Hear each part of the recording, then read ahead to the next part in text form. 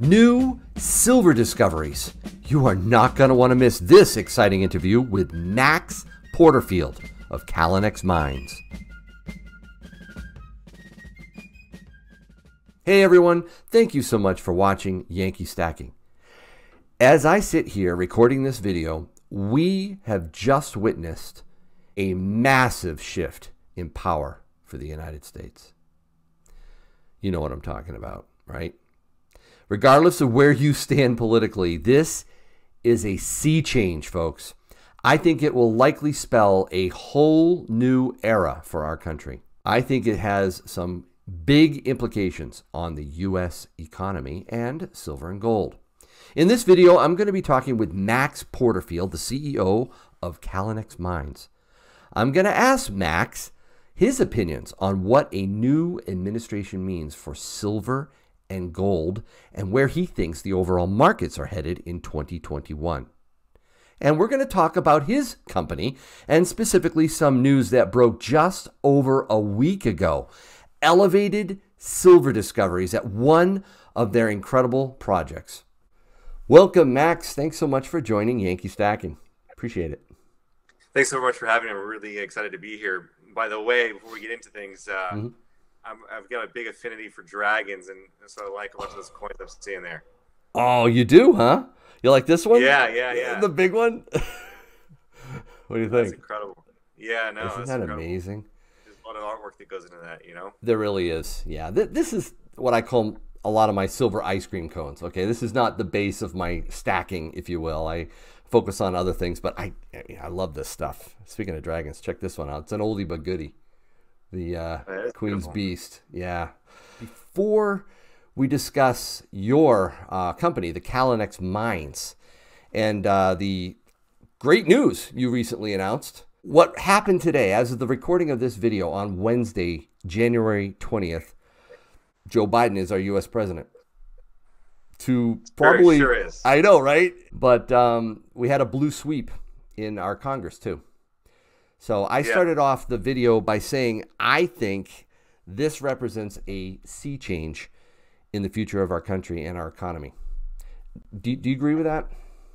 Yeah, I, I, do agree with that. I think that uh, if anyone was wondering if there's going to be more stimulus, um, I think they could bet their house on it. Yeah, because uh, uh, there's really going to be no checks and balances to that end. Mm-hmm, mm-hmm. Uh, you know, the continuous indebting of the nation. Uh, it really, I think, at the future of our children and our children's children uh, is something of great concern. Uh, mm-hmm. and with that, um, you know, the U.S. dollar is not going to do so well, and I think that is in turn going to be very, very beneficial for the precious metal space. Obviously, base metals and real assets as a whole. Mm.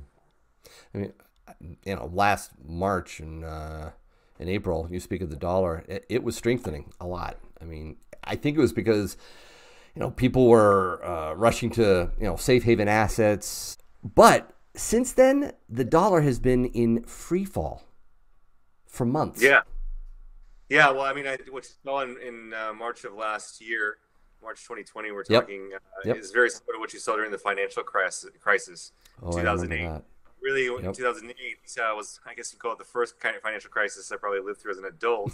uh, but that uh, that financial crisis really all assets correlated. Um, you had gold come off, silver come off. Mm-hmm. Uh, really, all the, the, equities were uh, on a lot of duress given everything that was going on at the time. There was a fear out there. Uh, and so that was no different in, in this most recent situation with the pandemic.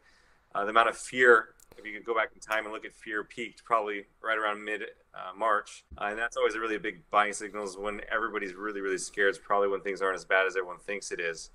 Uh, so you know if you were a buyer then, mm-hmm. that was a mm-hmm. tremendous long term buying opportunity uh, because again all assets correlated momentarily, uh, but you've seen the precious metals uh, as you follow very closely. Mm-hmm. I'd imagine. Uh, perform very, very well coming out of that, and you know the U.S. dollar is continuing to weaken, and I don't see why that anytime soon, given you know, they're already talking another 1.9 trillion, where I think they spent, you know, another trillion just about a month and a half ago or so. Know, so, right? and um, I don't like to be a negative person. I'm a very general in the exploration business, but I, I do mm. find it very hmm. concerning overall. I do too. I mean, we reached um, 10 year, 15 year, 25 year lows uh, in the dollar compared to other fiat currencies. We hit all time lows with the U.S. dollar against gold.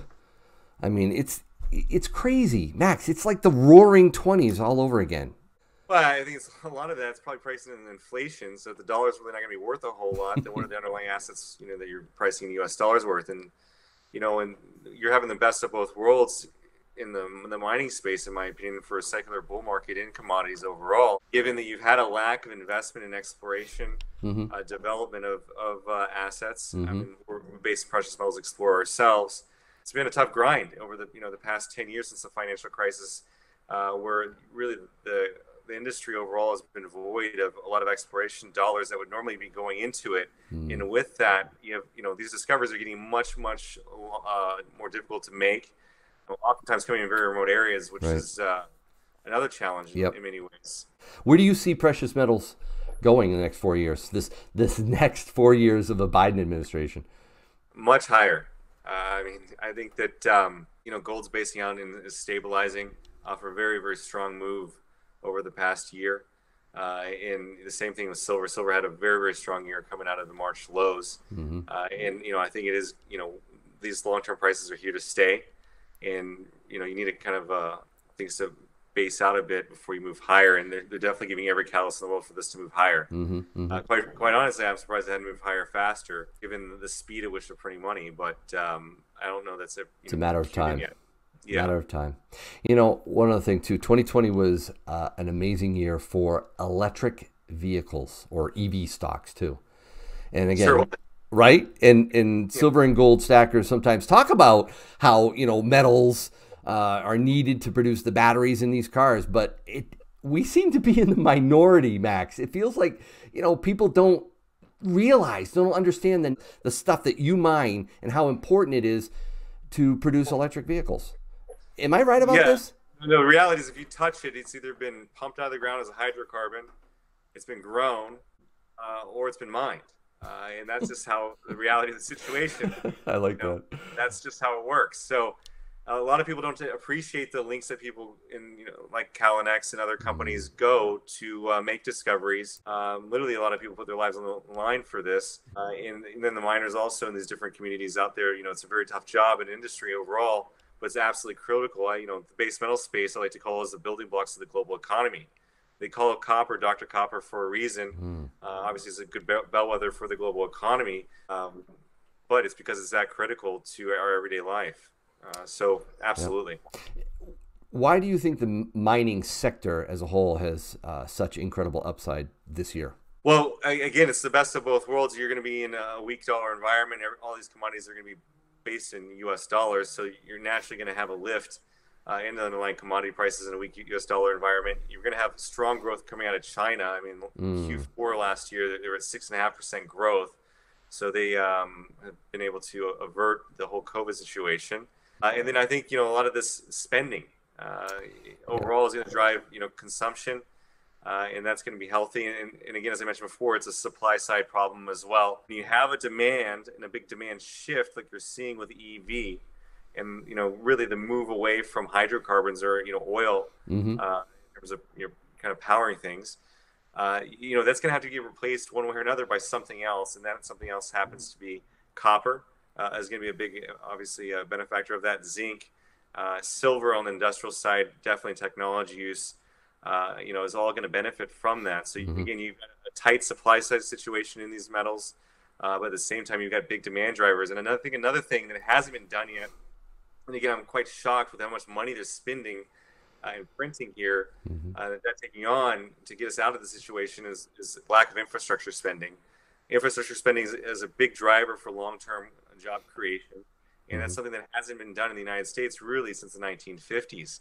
That coupled with the uh, One Belt One Road initiative out of China, which is yep. an infrastructure plan that's never been seen to the scale that they're looking to accomplish, is going to be a big, big driver for these metals.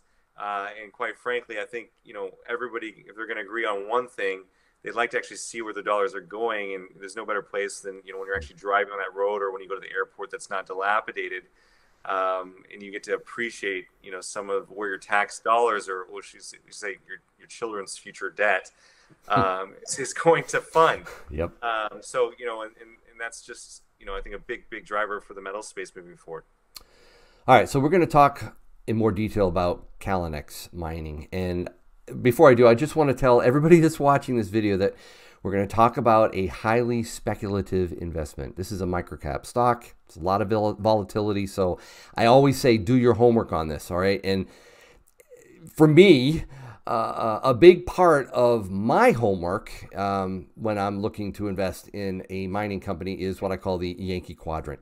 All right. So that's four factors uh, that I consider when I'm looking to invest it's management, projects, ownership, and company financials. So let's go over this together, shall we, Max? Let's uh, let's absolutely. We'll, we'll, go through it one by one. All right, cool. Let's start with you though. I, you have over ten years of experience in uh, natural resources and financial markets. Uh, you were previously with Brazil Resources Inc.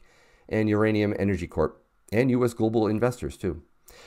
What drew you to Callinex? Really, you know, I came on to Callinex in uh, in mid 2014. Mm-hmm. Um, I was much much younger then and had an opportunity, and really what drew me to, to it was uh, an ability to work with a, a, man named Mike Muzylowski. He's our former chairman.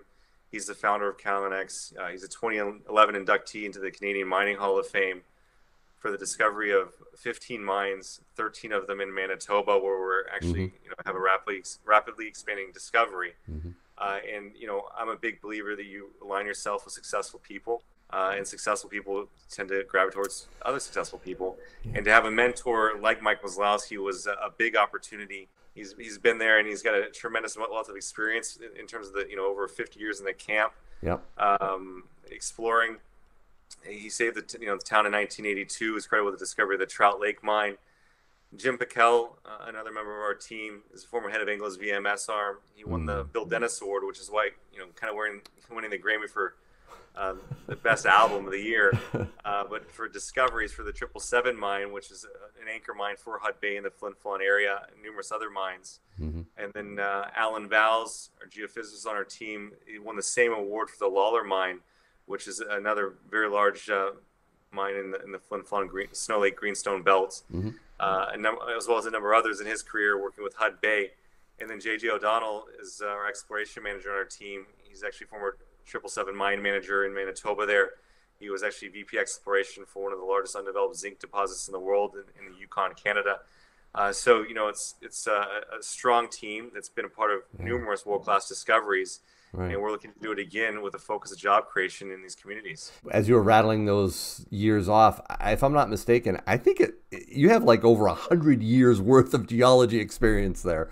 I don't think they like talking about their age. They have been collectively credited with the discovery of three of the four largest mines in the Flin Flon camp's history. Wow.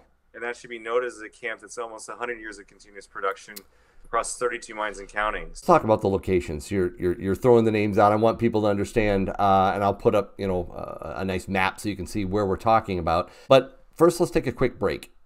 Okay, we're back with Max Porterfield, and Max, you have three main districts in uh, Callinex, I think, all in Canada, with several projects in each of those. Yeah, absolutely. So, in terms of the portfolio, you're right. We're, we're established and, uh, and focused on exploring in close proximity to these known Canadian mining jurisdictions.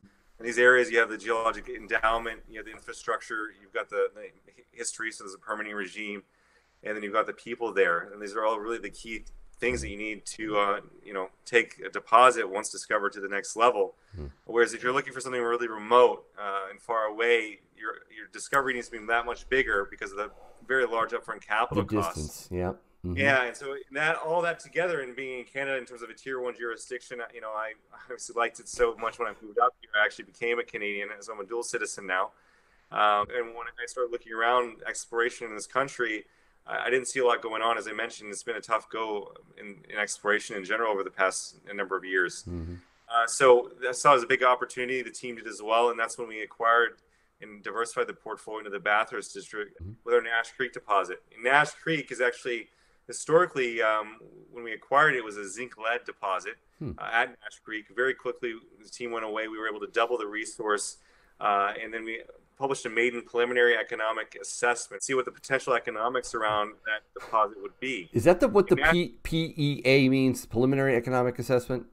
Yes, that, that's what that is. Okay, that's what that means. We did that really because Nash Creek's unique in a lot of ways. That this, this zinc deposit itself, and that's flat lying near surface and sits roughly just over a kilometer off a provincial highway that's 25 kilometers away from a deep water port, a rail line that takes you to smelting operations, power station right there, and, yep. and again, the community's there. So it's ideally located to that end. And um, when you're exploring for mines, you look for different chargeable or resistive rock properties. Okay. And so we did that over a district scale, and then and when we drill tested uh, some targets that were derived by our team, uh, that led to the discovery of near surface silver.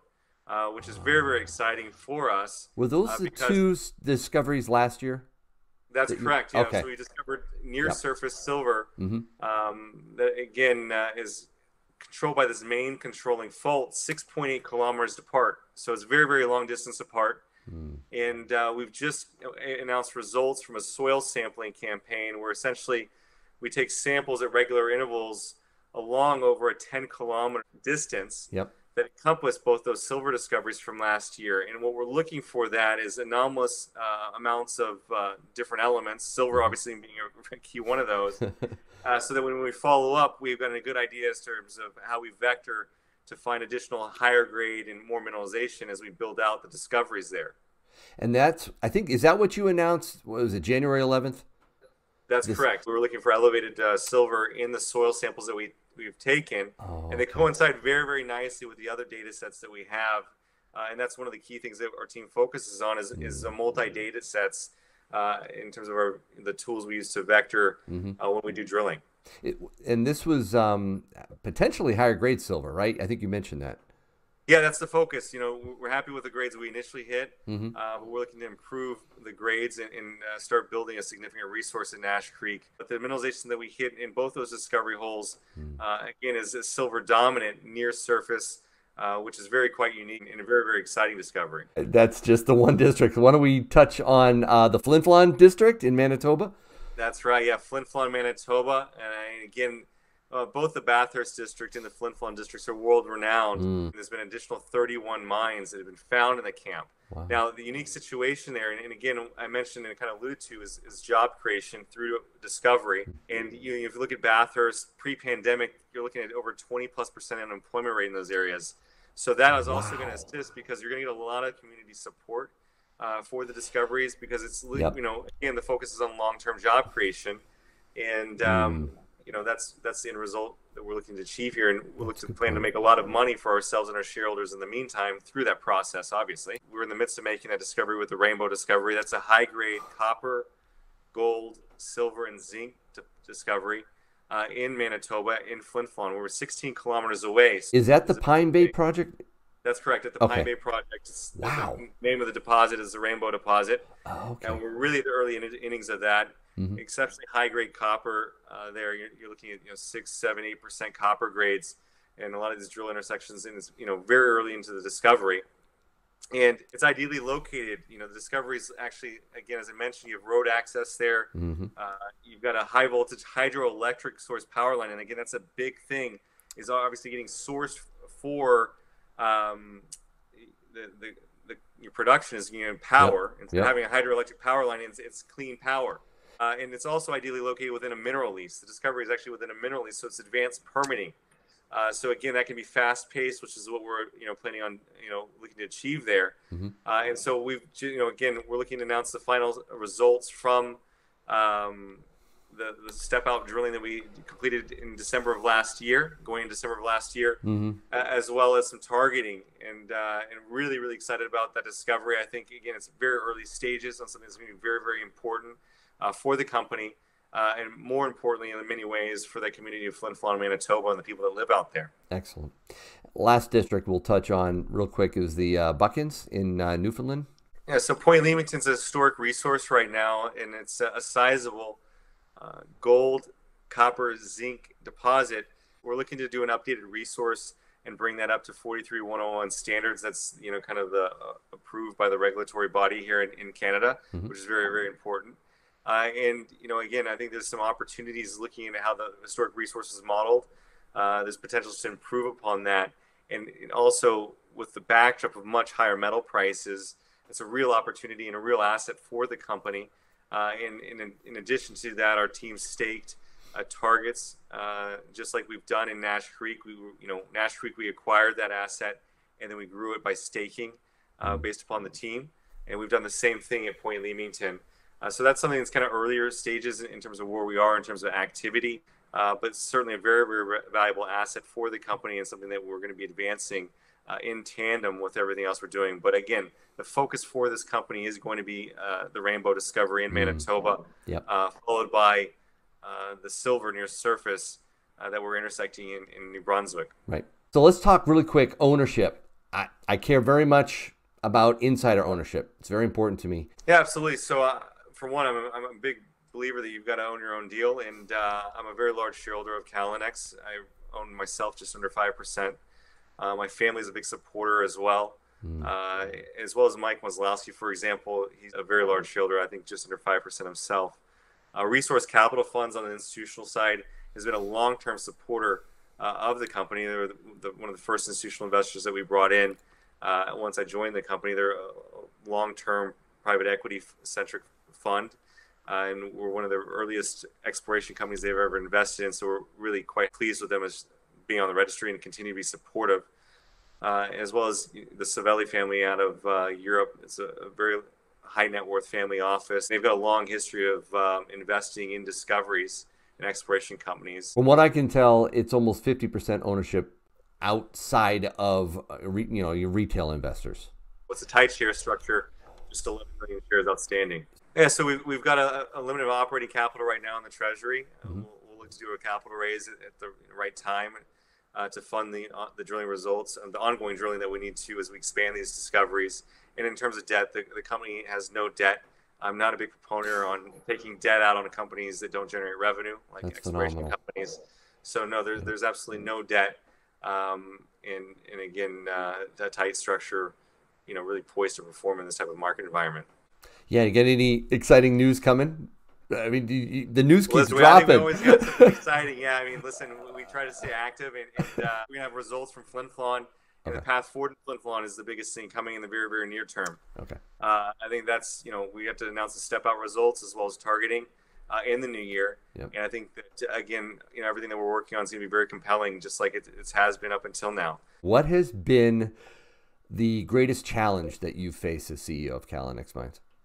The greatest challenge I'd say would be um, just managing the, the macroeconomic factors that really are out of your control in many ways. You're running a public company and it's managing risk. You have to keep in mind that the statistical odds uh, that an exploration uh, target goes on to be a producing mine are around one in 4,000. And so we look to mitigate those odds in a number of ways. Obviously, proximity mm-hmm. uh, to infrastructure, mm-hmm. which being in the, the known camps, in going after these areas with a, a model uh, and a team that's done it before, and I have no doubt will do it again. Uh, and, and doing it systematically and doing it very, I think, wisely in terms of you know picking those targets one by one.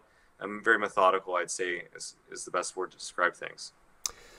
Well, this has been really awesome. A lot of fun, Max. I appreciate it. Oh, actually, can I show you one more dragon?